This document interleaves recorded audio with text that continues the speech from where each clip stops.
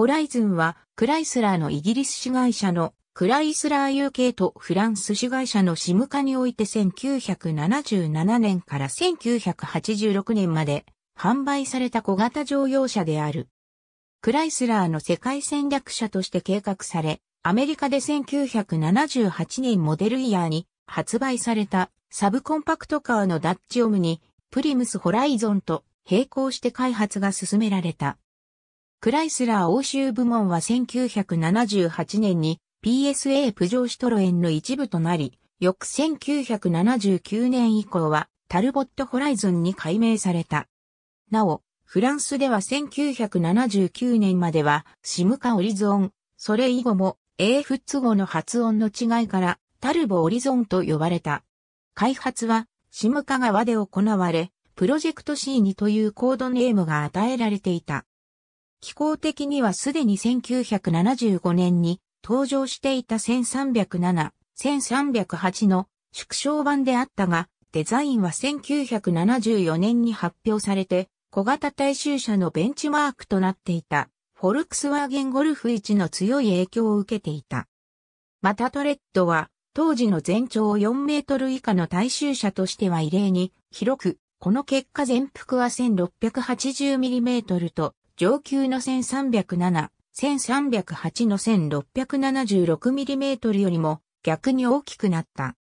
これはプロジェクト C2 型2100の後継者であるのみならず、小型車開発に出遅れて苦境に立った米国部門の切り札として開発されることになった結果であった。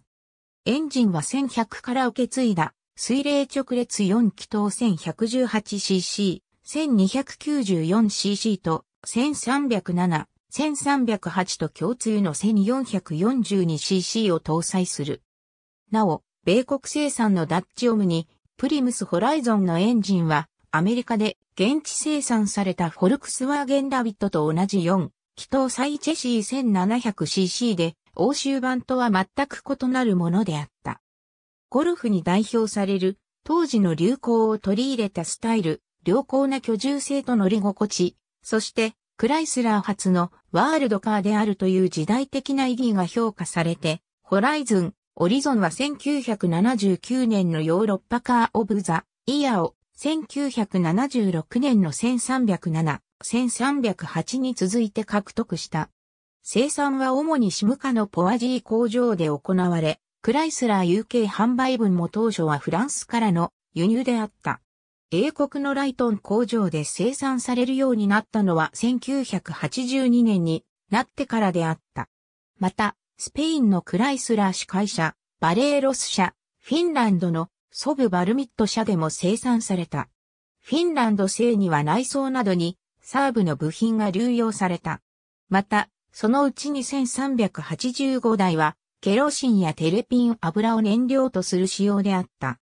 登場翌年の1978年にクライスラー欧州部門が PSA プジョーシトロエンの参加に入ったため、翌1979年以降はタルボットホライズン、タルボオリゾンと解消され、フロントグリル中央のエンブレムが新しくなった。1981年には小変更を受けてシリーズ2に発展した。しかしこの時点ではホライズン、オリゾンの競争力は目立って低下しつつあった。フォルクスワーゲンゴルフは2にモデルチェンジを済ませ、イギリス国内でもボックスホールアストラやフォードエスコートが横置き前輪駆動のハッチバックに生まれ変わっており、旧式な設計のオフエンジン、後には改良されたが、ボディの初サビも欠点として指摘されていた。また、ホットハッチという新たなジャンルを構築したゴルフ GT や、それに倣ったアストラグシーやエスコート XR2 のようなスポーツモデルも用意されず、市場での存在感も低下していた。1984年型からは PSA プジョーシトロエン3回入りの成果として、プジョー製5速ギアボックスが 1100cc 以外のモデルで標準化された。同時にバンパーが黒塗りとなり、加湿容量を増やすためリアシェルフの位置がかさ上げされ、その結果リアウィンドウの電池が縮小された。上級車には LED 表示のエコのメーター兼用のタコメーターが装備された。また、プジョー製ゾ級型 1905cc ディーゼルエンジン搭載車も追加されたが、ディーゼル車はすべてスペイン製であった。翌1985年にも内外装の小変更を受けたが、イギリスでは同時にグレードが整理され、1294cc の LX と 1442cc の GLX の2種類となった。生産中止直前には 1118cc4 速ギアボックスの LE と 1294cc の GLE が限定車として投入された。ホライズン、オリゾンの生産は、英物では1985年夏に、スペインとフィンランドでは1987年に終了し、後継者はプジョーブランドの309となった。GLS にはカットパイルカーペットやデジタル時計が装備され、1978年当時としては装備が充実していた。SX は1979年に追加され、当時の欧州車では珍しかったトリップコンピュータが装備されていた。